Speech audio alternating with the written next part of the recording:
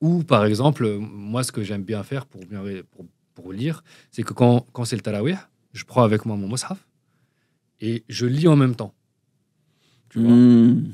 Comme ça, ça permet aussi de lire pour, lire plus rapidement et comprendre et suivre la, la personne qui. Ben, c'est important que tu aies mentionné ça. Donc, j'aimerais avoir ton avis si ça existe et ce que tu en penses. Ben, le problème, c'est qu'aujourd'hui, euh, il y a certaines pratiques hein, qui commencent à se populariser dans les mosquées. Elles sont basées sur aucun fondement et parfois qui peuvent être en contradiction avec ce qu'Allah subhanahu wa ta'ala nous a enseigné.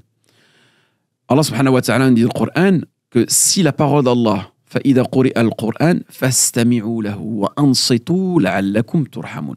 C'est-à-dire si la parole d'Allah subhanahu wa ta'ala est récitée, écoutez-la attentivement afin de d'être touché par cette miséricorde d'Allah subhanahu wa ta'ala.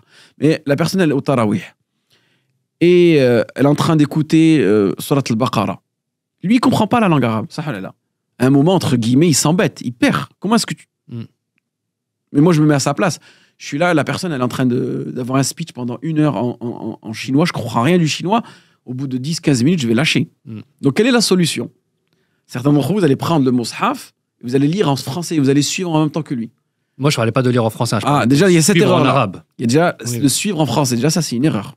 Oui, parce bah que le. Coran, tu Ouais, dois parce que t'es t'es plus en train d'écouter là. T'es plus en train d'écouter. T'es plus concentré pareil. avec ce qu'il dit. Et pareil, n'oublie pas que tu es en prière et qu'en réalité, durant la prière, les gestes, ils doivent être, hein, ils doivent être réduits au maximum. On sait qu'il y a une certaine largesse, une sorte de tawassu' durant euh, les prières surrogatoires, mais nos salafs ne faisaient pas cela. Hmm. D'accord? La seule personne qui est autorisée d'avoir un mushaf, c'est celle qui va corriger l'imam D'accord. Et de suivre en langue en Parce arabe. que moi, j'avais demandé justement, et on m'avait dit que justement, parce que moi, pareil, je maîtrise pas la langue arabe, Mhm. euh, je maîtrise pas tout le Coran, et, et donc ça me permettait de pouvoir rester concentré sur ce qu'il dit et de comprendre surtout en ayant justement en suivant euh, où il en est. Ben moi, ce que je conseille, parce que on vous dit ne fais pas ça, mais donner une solution, ça, là, là. Oui, bien sûr. Je vais te donner une solution, Inch'Allah. Et je pense que cette solution, à long terme, elle sera beaucoup plus profitable pour toi. Tu sais qu'il va lire Surat al-Baqarah? Tu sais qu'il va se lire, par exemple, euh, un hizb. Hmm. Tu prends ce hizb-là, d'accord? Tu lis son tafsir.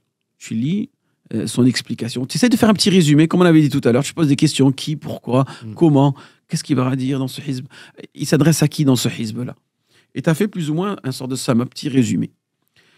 Eh ben, quand tu vas être dans la mosquée, hein, tu te concentres au maximum et tu essayes tout simplement toutes ces informations-là que tu avais plus ou moins auparavant hein, mis de côté, hein, mais tu vas essayer de les recontextualiser durant la récitation de l'imam. Et tu verras que ça sera énormément bénéfique pour toi parce que ça va t'apprendre à concentrer, ça va t'apprendre du nouveau vocabulaire et ça va t'apprendre à assimiler tous ces termes-là. Ok. Donc pour toi, lire pendant Tarawih, Non. c'est à proscrire. C'est à proscrire. naam. Ok.